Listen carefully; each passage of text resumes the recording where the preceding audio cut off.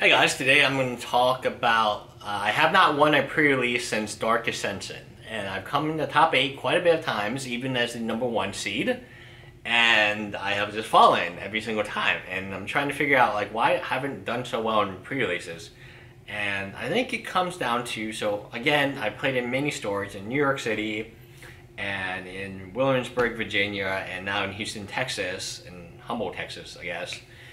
So I played in many stores, and I've always been able to make the top eight quite easily, no matter how many players. Sometimes there's even in New York, Battlefield or Battlegrounds was 100 plus players at the Ascension, and I got in the top eight, and it was really great. And uh, then I just crashed, and I think it comes down to the decks I play. So I play a very aggressive Boros type of build always. If I can be in Boros, I will be in Boros.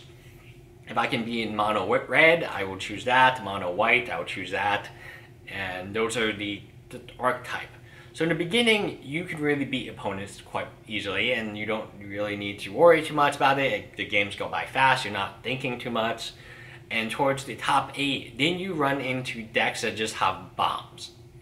And Boros, being very aggressive, as soon as you run into a bomb, you might be able to overcome that really awesome creature one time, but you're not going to overcome the second creature because it takes too much resources. You might have to slam, you know, two spells and then a creature into that, or you might have to block with your whole team just to get rid of it because you know you can't win otherwise.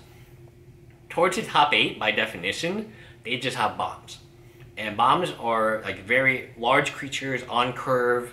I'm talking about you know like things like the mythic vehicle, which it's like OP if you can put a crew on it, because it just shoots down all your creatures, or you know a planeswalker bomb, like any cards that will just win you the game, win your opponent game. You might be able to handle one of them as an aggressive deck, but you're not going to handle all of them.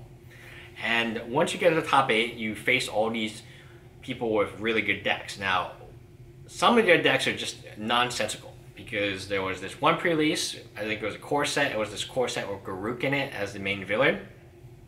The dude had Garruk, the dude had Nightmare, he had seven on color mythics and rares, including a foil card, a foil um, rare of some type. And I'm just like, well, that sucks because there's no way I will be able to beat you. And I think it comes down to pre-releases being it should be casual, it should be fun, but people just like to win. And you can kind of tell who those people are. They don't shake your hand afterwards, they don't talk to you during their mats, they have headphones. I mean, at our pre-release, we have this one dude who puts his headphones in and he won't talk to anyone. He's like pro, and he's not really pro. He doesn't actually, he's not that good. But I just have a gut feeling that like I my one ones with haste and my two twos with haste it, it does not compare to a deck with seven on color rares and mythics. Now, I was very su suspicious about that deck because what happened was this group of players, uh, they talk to each other and then they, I think they trade cards with each other. And they should know better than to do that.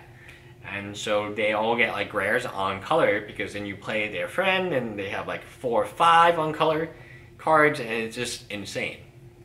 But uh, hopefully you guys do extremely well in your pre-release. I would love to uh, you guys leave a comment here where, where you're going to pre-release, uh, how fun do you have fun at your pre-release if this was released a little, little later.